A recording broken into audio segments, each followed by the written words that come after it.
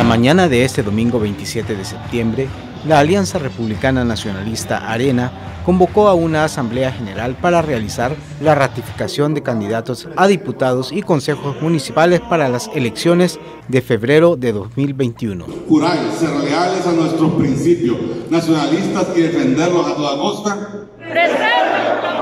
En el acto se enlazaron los 14 departamentos de El Salvador de manera virtual. En el evento, el presidente de este instituto político dijo que se está luchando contra un régimen populista. El populismo, lejos de ser una ideología, es un instrumento que ayuda a manipular a las personas, pero no a resolverle sus problemas. Y eso hay que decírselo a la gente y la gente va a ir comprendiendo.